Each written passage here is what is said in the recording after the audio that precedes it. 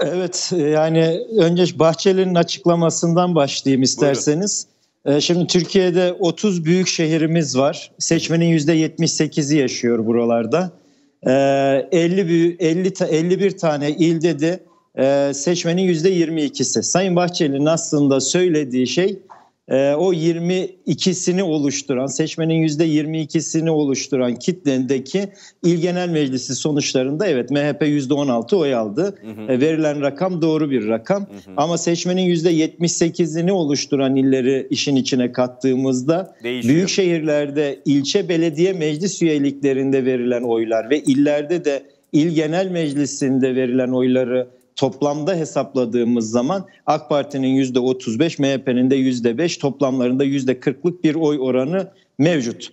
Şimdi biz buraya nereden geldik? Biz buraya Kasım 2015 tarihindeki seçimlerde Cumhur İttifakı'nı oluşturan AK Parti ve MHP'nin o tarihteki toplam oyu %49 artı %11'di. MHP'nin oyu %11'di. Yani toplamları %60'lık bir oyu vardı. Bir sonraki seçimde referandum sonrasında ittifak kurduklarında bu ittifak sonucunda AK Parti'nin oyu %42'ye, MHP'nin oyu da 11'de kalmaya devam etti ki içinden bir İyi Parti gibi %10'luk bir parti de doğurmuş olmasına rağmen bir 7 puanlık gerilemeye sebep oldu. Arkasından Mayıs 2023 seçimlerinde AK Parti %35'e geriledi. MHP yine oyundan bir şey kaybetmedi. %11 olan oyu %10'larda yine seyretmeye devam etti. Toplamları 45 oldu. Yani ortalama 7,5-8'er puandan 2015'ten 2023'e kadarki süreçte yaklaşık olarak milletvekilliği seçimlerini baz aldığımızda bir 15 puanlık düşüş var. Bu 15 puanlık düşüşe de dikkat ettiğimizde MHP'den düşen bir şey yok. %10'luk oyunu koruyor. Ee, Sayın Bahçeli'ye bu konuda da katılıyorum. Türkiye'nin bütün şehirlerinde aynı İyi Parti gibi ayrı seçime girmiş olsalardı muhtemelen MHP yine bu yüzde onlar civarındaki oyunu korumaya devam edecekti. Ve AK Parti'nin şu an 35 gördüğümüz oyunu da 30 ve hatta biraz daha altında e, yakalamış olacaktık, görmüş olacaktık. Burada takıldığı nokta AK Parti kurmaylarının da şu andaki tartışması da bu. 2018'den beri bir ittifak kurduk. Bu ittifak düzeninde hep kaybeden AK Parti oluyor. MHP içinden kendisi kadar oy alabilen bir ikinci parti doğurmuş olmasına rağmen oylarını koruyor ve bu özellikle AK Parti'nin en önemli özelliği Türkiye'nin her coğrafyasından oy alabiliyor ve belediye başkanı milletvekili çıkarıyor olmasıydı. Bu avantajını bu son yerel seçimlerde CHP'ye kaptırdı. CHP hiç olmaz denilen kalelerde Afyon ve Adıyaman başta olmak üzere çok ciddi belediye sayısını arttırdı ve coğrafyanın her yerine dağıldı. Yani doğusundan güneydoğusuna, Trakya'sına, batısına, doğusuna her yerine yayıldı. Şimdi AK Parti'nin önündeki en büyük sorun şu anda hızla Türkiye Partisi olmaktan uzaklaşıyor. Karadeniz ve İç Anadolu bölgesine sıkışıyor. Kentlerde kent seçmeninden hızla uzaklaşıyor. Taşralı seçmende. Bunu bir önceki seçimde de aslında e, görmüştük. Kent merkezlerinde Sayın Kılıçdaroğlu'nun %51, Sayın e, Tayyip Erdoğan'ın %49'la bitirdiğini görmüştük. O taşradan gelen oylar neticesinde aslında öne geçmesi söz konusuydu. E bu seçimler bir yerel seçimdi. Yerel seçimlerde kent seçmeni ve kent seçmeninin davranışları çok önemliydi. E, kent seçmeninin de en çok etkilendiği şey e, çok ideolojik bakmadan ülke gerçekleriyle hareket ediyor olması. Kent seçmeninin oy verme davranışındaki en önemli tetikleyici konu bu yakıcı ekonomik kriz ve göçmen sorunu. Yani şehirlerin güvenlik sorunu, göçmen sorunuyla beraber güvenlik sorunu.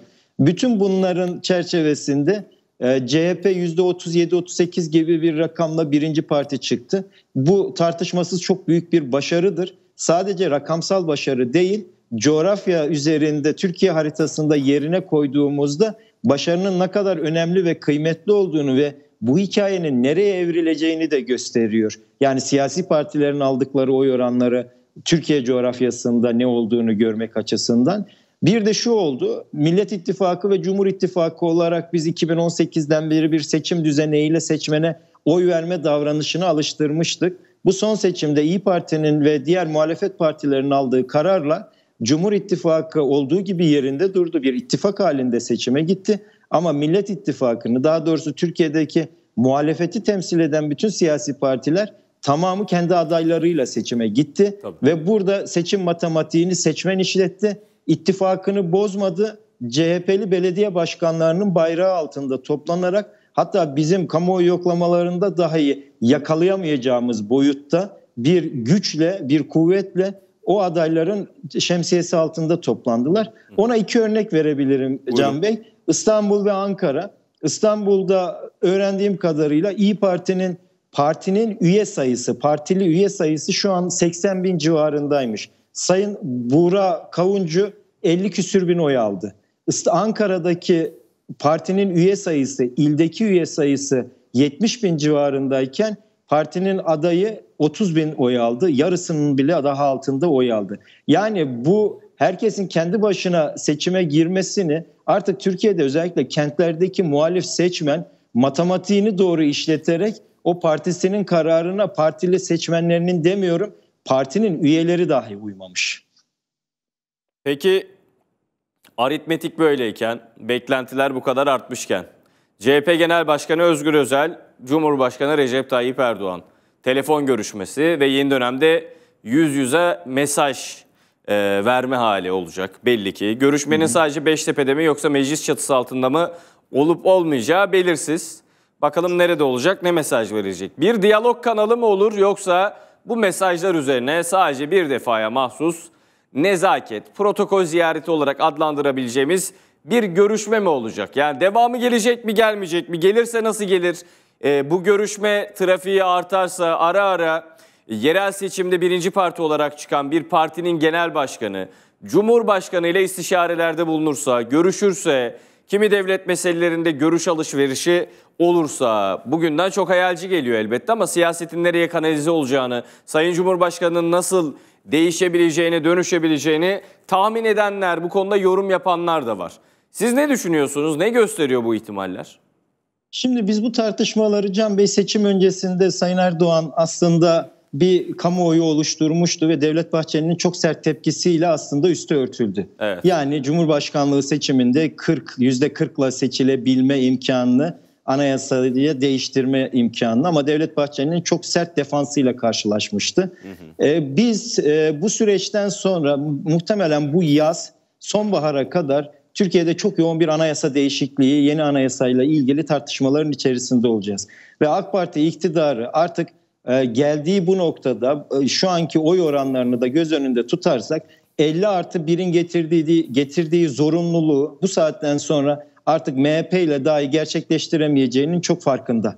Burada başlangıçta bir 40 dediler ama o 40'ta da hem ortağından hem muhalefet kanadından bir olumlu sinyal alamadıkları için topyekün bir anayasa değişikliği konusuyla aslında Türkiye'nin 2023 e, seçimlerine göre ana muhalefeti ikinci partisi, son seçimlere göre de birinci partisi CHP ile masaya oturup bu konularda anlaşmak zorunda. Çünkü her geçen gün AK Parti için e, kurduğu ittifak ve e, siyasi iktidarında ekonomik göstergeler ve özgürlükler noktasında hukuk devleti, adalet noktasındaki takındığı tavırdan dolayı da gerileyen bir AK Parti var.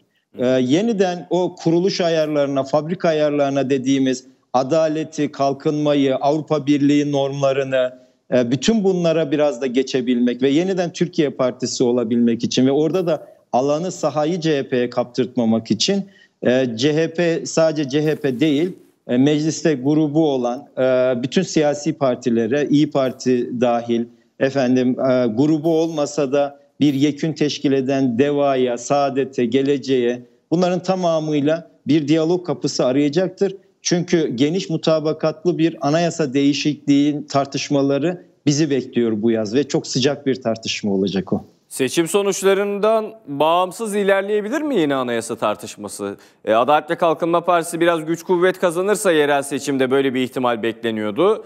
Böylesi bir seçim sonucundan sonra yok yeni anayasa denenmez herhalde gibi yorumlara vesile oldu bu durum. Ama denilecek gibi bu yeni işbirliklerini beraberinde getirir e, okuması az önce yaptığınız gibi.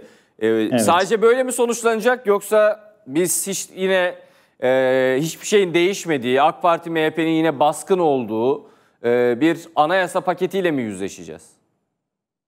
O baskınlık olmayacaktır Can Bey. Çünkü e, biz e, bundan 2-3 sene önceydi Sayın Bahçeli'nin bir 100 maddelik anayasa taslak Tabii. metnini ilan etmişti. O taslak metninden de hatırladığımız kadarıyla aslında parlamentonun güçlendiği, biraz bu yeri başkanlık sistemini de andıran, mevcut Cumhurbaşkanlığı hükümet sisteminin arızalarını, sorunlarına e, çözümler öneren bir taslak metindi bu metin. Hı hı. E, ve şu anda da geldiğimiz noktada bunu AK Partili siyasetçiler de Sayın Cumhurbaşkanı da ifade ediyor. Sistemde olan aksaklıkları, sistemin e, daha düzenli olabilmesi adına yeni anayasa diye bir başlık açtılar. Hı hı. Bu yeni anayasa tartışmalarında AK Parti mümkün olduğunca çok geniş bir ittifak ve mutabakatla e, parlamentoda bunu neticelendirmek istiyor. Çünkü şu son seçim sonuçları da bize artık gösteriyor ki yeni anayasa meselesini referanduma götürdüğü takdirde yani mecliste 360'ı bir şekilde bulup da referanduma götürdüğü takdirde toplumsal muhalefet özellikle CHP'nin başını çektiği yeni anayasa getirdikleri yeni anayasaya hayır kampanyasını bu sefer geçirmeme ihtimalleri çok daha yüksek. Bu riski almamak adına mecliste o 400'ün üzerindeki rakamı bularak ortak mutabakatla daha yönetilebilir sistem daha revize edilmiş parlamentonun biraz daha en azından e, sistemin içerisinde gücü olan muhalefetin artık unuttuğu o güçlendirilmiş parlamenter sistem diye seçim kampanyasını oluşturduğu ama başarıyla neticelendiremediği seçim sonuçları açısından hı hı. gündeminin tekrar açılacağı ve bunun da öncülüğünü yine AK Parti'nin yapacağı görünüyor. Ee, Ankara'da da e, bizim de kulislerden gördüğümüz, duyduğumuz bu konuya AK Parti yoğunlaşmış durumda. Son soru, ıstakoz sınavı, Buyurun. Maldivler sınavı. E, dün arkadaşımız Aslı Kurtuluş Mutlu cep telefonu kamerasından kaydetti. Hı hı. Şebnem Bursalı'ya sordu. E, Sayın Bursalı bir açıklama yapacak mısınız dedi. E, hayır dedi. Ya Hayır dediğini ve mimiklerle anladık. E, döndü yerine geçti ve o jest ve mimikler işte ben rahatım, bakın gülüyorum, hı hı. E, herhangi bir sorun yok kısmındaydı ama şimdi birkaç ayrı AK Parti kaynağı kimi kaleme aldı bunu, kimi sosyal medya iddiası olarak paylaştı. İddia odur ki Şebnem Bursalı toplantıya giriyor, özrünü diliyor ama Cumhurbaşkanı Erdoğan sessizliğini bozmayınca oradan ayrılmak, uzaklaşmak zorunda kalıyor. Şimdi böyle bir durum söz konusu. E, ciddi rahatsız etti ve bu durum affedilmedi deniyor. Seçim sonuçları böyle olmasaydı bu Ustakoz paylaşımına aynı tepki AK Parti içinden verilir miydi? Bu birinci soru. İkinci soru AK Parti'ye kaybettiren asıl nedenler bu ve benzeri örnekler mi? Bu ve benzeri örneklerin insanların zihnine yer etmesi, o kopuşun kesin olduğunu mu gösteriyor yoksa bu yerel seçimde sadece bu tip rahatsızlıklardan dolayı borç oy mu verdi AK Parti seçmeni? Ya bu konuyu ben biraz mahalle kavramıyla açıklamak istiyorum. Bu bir sınıfsal farkındalık değil. Mahalle mahallede yaşanan dönüşümün mahallenin eski abileri ablaları tarafından dirençle karşılanması aslında. AK Parti'nin o kuruluş kodlarındaki temsil ettiği çevrenin merkeze taşınması ve 20 küsür yıl sonrasındaki o dönüşümünü mahallenin eskileri hala eski mahallesi sanıyorlar. Ama artık o eski mahalle yok. Çünkü o çevrede yer alan mahallede, o mahallede eskiden zenginler de vardı, fakirler de vardı, beyaz yakalılar da vardı, mavi yakalılar da vardı ama bir mahalle disiplini ve bir mahalle terbiyesi içerisinde bir disiplini olmuş şekilde iktidarlarını ve partilerini yürütüyorlardı. Geldikleri noktada o mahallenin temel kültüründen uzaklaşmanın getirdiği tartışmaları yaşıyoruz. İşte sarayın e, bürokrasisiyle AK Parti'nin eski siyasetçileri arasında yaşadığımız tartışmada da aslında bütünüyle bu konular var. Yani sadece yaşam tarzı, yeme içme kültürü değil, hayata bakış açılarıyla da alakalı. Ee, yeni gelmiş olan ve e, daha çok o bürokrasi ve yeni dönemde bu yapıya eklenmemiş olanların mahallenin eski kodlarını bilme işleri ve o kodları hafife alması o mahallede çok büyük öfkeye sebebiyet veriyor. Yoksa istakozun ne olduğunu, kaç para olduğunu, tadının nasıl olduğunu Türkiye'de çoğu kitle bilmez. Yani sadece kendi mahallesi açısından söylemiyorum. Yani Türkiye'nin ortalama vatandaşına baktığımızda bunları bilmez. O bir simgeydi aslında. Bu simgede de aslında yaşanan e, istakozun sadece simgesel değeri var. O mahallede yaşanan başkalaşımın, dönüşümün direnenleri ve orayı aslında kimliksizleştirmeye uğraşan yeni gelenleri arasındaki büyük kavgaya şahitlik yaptık biz. Bundan önceki e, Van konusundaki Sayın Hayati Yazıcı'yla Mehmet Uçun Bey'in arasında yaşanan tartışma da aslında bu mahallenin başkalaşma kavgasıydı. Biz demokrasiden, hukuktan, özgürlüklerden bahsederek iktidar olduk ve partimizi bu şekilde lanse ederken e, bürokrasi tarafında, saray tarafında e, ciddi manada o güvenlikçi politikalarla devleti önceleyen, o güvenlikçi devleti önceleyen politikalar arasındaki çatışmaların tezahürleri. Bunlar AK Parti içerisinde hele ki bu başarısızlıktan sonra bu bir e, su yüzüne çıkma olmuştur. Hani önceki yayınlarda hep söyledik ya muhalefeti konuşurken muhalefet tarafında hiç tartışma yok mu sanıyoruz e, e, iktidar tarafında. Muhalefet tarafının kapısı bacası açık olduğu için bizim için de orayı konuşmak kolaydı. CHP içini konuşmak çok kolaydı. E şimdi evet bir başarısızlık geldi. Bir yerel yönetimlerde ciddi başarısızlık geldi. Hatta hiç beklemedikleri hele ki Ankara ve İstanbul'daki rakamlar konusunda da e, ciddi bir şaşkınlık yaşıyorlar. E bu başarısızlık sonrasında evet o kapı aralandı.